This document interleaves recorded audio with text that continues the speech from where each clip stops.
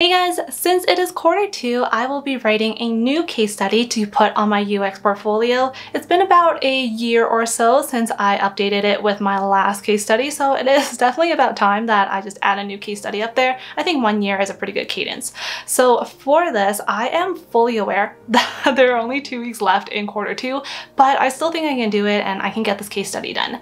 I used to have a manager who would say that something only takes as long of a time as you say it's going going to take. So if you say a case study is going to take two weeks, you're going to finish it in two weeks. And if you say your case study is going to take three months, then you'll finish it in three months. So we are going to start off and get this case study done so it is finished for quarter two.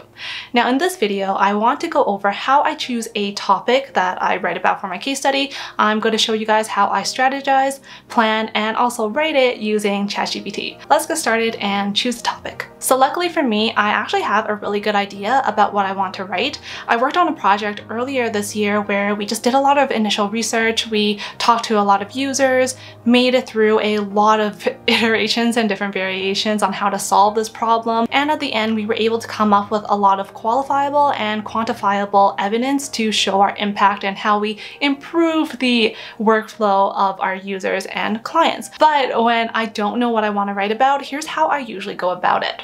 First, I'll think about the projects that I spent the longest amount of time on. Usually for like longer projects, you'll have a greater timeline, more budget, more resources, and hopefully that will allow you to spend more time in the design process and at the end would have actually had some impact. Like you would have been able to see what kind of changes you made and like that's really how you make a good case study. Like you want to see how you made impactful changes with the improvements that you designed and the problems that you were able to solve. This project that I'm talking about, I think we spent about four months on and we were able to get a lot done for it. But of course, like this only counts if you are currently working as a UX designer. If you're someone who is looking for your first UX design job and you're just trying to do your own personal projects, then I you know, you, you can't really do much about that. The next thing I like to do is do a search on job postings and when I do this, I always look at the role that is above what I'm currently in. So like if I was a junior UX designer, I would do a job search of intermediate UX design positions and I would try to look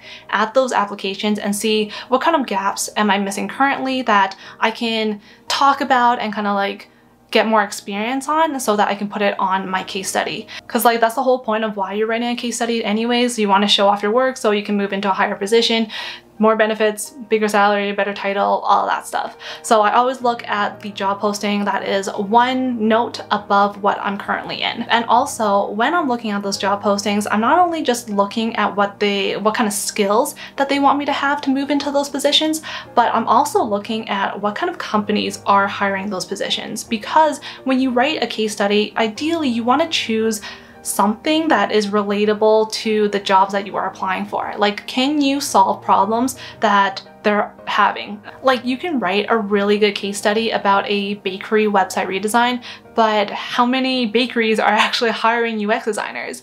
Not a lot, and that is coming from someone who in 2018 wrote a case study about a bakery website redesign. Like it's just not relatable to the companies that are hiring UX designers, and you're not really showing that you can solve the problems that you might be currently facing. And lastly, when choosing a topic, the thing I like to look at is my own case studies.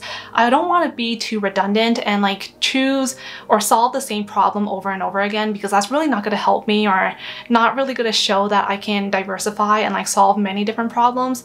Like for example, my last case study that I wrote a year ago was about redesigning or creating a design system and that's really great and all but like I am not going to need another case study about that right after the one I just made. Is that really going to add so much value as solving a completely different problem with a different space in a different environment? So, you know, just try to diversify and choose different topics so you're covering all your bases. And hopefully by thinking about the project that you spent the longest on, um, the companies that are hiring UX designers, the job title you want to move into for your next steps and what kind of gaps you're missing there, and also just looking at and reflecting on what kind of case studies you already have in your portfolio, you'll be able to come up with a fresh topic that you'll be able to write about. So the next thing that I do is actually kind of a little weird. I wasn't gonna tell you guys this because, oh, I don't know, like it's kind of like odd. I don't, I don't know how many people do it because it's actually a little bit embarrassing, but I just thought, oh, you know, it's part of the process.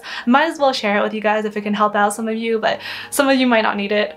Um, I, uh, I actually really like to say and present just blindly. Like right after you've chosen a topic, I like to just talk and present my case study blind. So the reason I do that is because I really want to try to think about like what jumped out at me about the project that I worked on, what kind of memories or struggles or like just what kind of emotions come up from like just like off the cuff when I immediately think of this project and this case study that I want to write. And I know it's really silly, but it really helps me because as someone who is very like, someone who gets really nervous when I'm presenting, like I don't want to choke when I'm in an interview. So thinking about like my emotions and like what I feel really proud of or what I felt like was a struggle during this project, it gives me like memory hooks so that even when I'm nervous and trying to like think about what to say, I can rely on those emotions to try to get my story out there. And how I usually like to do this is I set a timer for 15 minutes and that's about the length of time that a case study presentation would be when you're doing an interview. And I just try to naturally talk it out and really just try to fine tune eventually how I want to tell this story. I used to do a lot of martial arts. There was this one place that we demoed like many many times and it wasn't even a big deal or a big stage it was like a in a restaurant so we were like the entertainment during the meal you know everyone's kind of eating so they're not even really paying attention but I still felt like really nervous and I think where my nerves come from is not exactly I'm scared I can't do this I'm scared I'm gonna fail but more like I have this pressure and this expectation of myself to perform in a certain way. And really I think that's just a really long-winded way of me saying that I'm quite hard on myself. So I think that's where my nerves come from anyway. But yeah timer 15 minutes and then I just try to like talk it out and I'll like speak and just start formulating my story. So I learned this in my final year of university. I had an option to take so I did like a creative writing English course. It was actually a lot of fun. I really liked it. But um, I learned about the five C's of storytelling and following these five C's that I'll tell you about, they really help improve a story and it's really like the sequence of these five things that you can build into your case study and it'll hopefully create a really engaging story that you can use during your portfolio presentation. Like when I'm thinking about a case study, I'm really thinking about like the end goal, which is you're in an interview and you're presenting it to your hopefully potential future employers. So for me, like the storytelling bit of it is really important. The first thing you need to think about, the first C of these five C's is a circumstance, and that is just establishing the scene. I think that's really quite straightforward. Like you want to talk about when you started this project, where you did it, like the company, the background, and the context, like the why behind why you decided to run with this project or why you decided to do it. Next is curiosity, which honestly is like the most important one. I feel like like curiosity is trying to get people to understand like why they should care about this case study. And usually for case studies, you like to talk about what kind of pain or frustrations your users are dealing with, what kind of targets maybe that your business may have and how can those things be relatable to the company that you're applying for. Next is characters. Um, in this case, it's kind of a little weird for your case study, but your character is basically you the the protagonist, the, the storyteller, the main character of your life and of course of your case studies and your UX portfolio. I wouldn't say that it's important for you to inject your personality into writing. I honestly really hate that. Like you need to stay professional. Sorry, the clouds are clouding again, but but like when you write your case study at least you need to show that you're professional, but when you are presenting it, if you want to inject humor in a situation where you feel like it would be accepted, it's really just kind of like you know, can you understand and can you, do you know your audience? But yeah, to me, it's really like, do you sound like you care about this? Do you sound like you are proud of your work or just why anyone else should really care about what you're writing about or what you're talking about? And in the context of writing a case study, it's a lot about like your character, you, and how you communicate your thoughts. So I see a lot of like very junior or like your first case study, it's very like I did A and then I did B and then I did C boom, here's your case study. And that's just not really what I'm looking for. I, I love to see more of like a, I did A because of dot dot dot, which led me to B where I learned something and that helped me focus on C. So why are you doing certain things? Why are you doing them at this moment?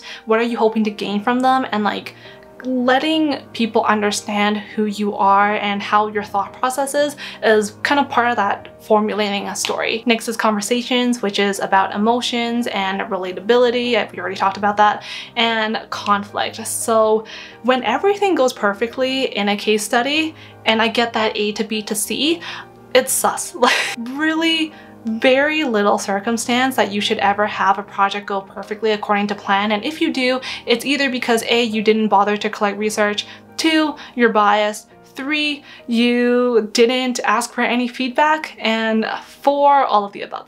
So for me, I would love to know how you overcame challenges and if there was anything that surprised you. And really, when you are inserting conflict into your case study, the question you should really be answering is, how did this make you grow as a UX designer. Okay, I don't think the sun's coming back this time. Um, so with this new camera angle, we are ready to write our case study and I have my computer just all set up and ready to go. When I write my case study, I always like to do it in Google Docs. It's just like where I feel the most comfortable doing it and also just organizing all of my files and different stuff like that. And recently on the other side of my screen when I'm writing, I like to have ChatGPT open. I have been using ChatGPT a lot at work. It feels like a rubber ducky. I can kind of just like have someone to bounce ideas off of. It gives me a lot of help when it comes to thinking up copy and different like iterations on how to write copy. Helps me write emails. Honestly, I really love it. I highly recommend you to give it a shot if you haven't. So first thing I like to do is actually write out all of my headings in the order that I want them to appear on my case study. So this is just gonna help me tell my story. So I used the little notebook that I had when I was doing my um, like kind of just like blind speaking out loud exercise and I just started writing down the headings. Usually it's very like standard. I do have a way that I like to go about it and then after that I like to add in bullet points on what I would like to cover in each section. So just using something like role for example like my role on the project. I'll talk about my actual title, how long I spent on the project, who else I worked with and what I was responsible for. And I also like to make notes on where I want to insert my images along like as I'm doing these headers and like coming out with these bullet points because I really want to focus on creating a case study that is easily scannable. When I think of what someone sees on the screen, I want to make sure that at every section they're scrolling, no matter what, they always see like a hint of a picture, the picture itself, or just anything like that. So it feels like it's more scannable for them to go through. There's images to kind of break up that text and just doesn't get too boring or hopefully too long. And I just keep my paragraphs like quite short. And then with each section, I like to enter my prompt into ChatGPT. So I will write like, write me a section in a UX portfolio to cover the following. And then here I will like copy and paste my bullet points into there and I'll just hit generate. So I'll see what kind of response ChatGPT comes out with and I usually like to hit generate like a couple times just so I can get a few different variations and kind of just like pick and choose which one I want so it can help me get pretty close to the tone and also like the the wording that I prefer and that feels like me. I know it's not going to be like perfect. I, I never expect it to be perfect, but it does help me like get ideas on how this can this can look. And sometimes I also like to add in more instructions like can you make the sound a bit more professional or maybe highlight this particular bullet point a bit more and, and then I'll just regenerate again and try to get different answers from ChatGPT. So once it generates something that I'm happy with, I say thank you to my future AI overlords and I add it into my Google Docs and I just like touch it up a little bit. So doing that, I like kind of slowly work through my case study and I'm already thinking about like how I want to tell the story and how I want to present it. Yeah, I just keep working on it like this and then once I'm done, I like putting the entire thing into ChatGPT so that they can review it. And I'll put in prompts like edit this as a UX designer and I kind of just get like feedback like that. And with that, we have written, written, we have writ, we have completed our writing portion of our UX case study. And not only that, but you've created a personal and professional story that you can use to help build your presentation deck for when you do interviews or if you want to become a speaker because all that work that we initially put in with speaking out loud and thinking of the emotions and the struggles and doing your bullet points and thinking about what images you're going to need in your case study like you've pretty much got a presentation deck. So I think I'm actually going to call it here and in an upcoming video I'm going to show you how I create all of the visuals for my case study. I'm going to show you how I put the visuals and the writing that we did today together and put it into my portfolio that I code by myself and just like lay it out and everything, how I upload it, how I create my presentation deck for any presentations that I might have to do with it. But yeah, I hope that this video was able to help you out when it came to writing out your case study. I do have a playlist of like case study things in case you guys are interested in seeing some of like my other videos talking about the topic. But yeah, I, I just hope this is able to help you out. Of course, you don't have to do everything that I did in this video. But yeah, I'm gonna end the video here. Thank you guys so much for watching as always, and I will see you in the next one. Bye!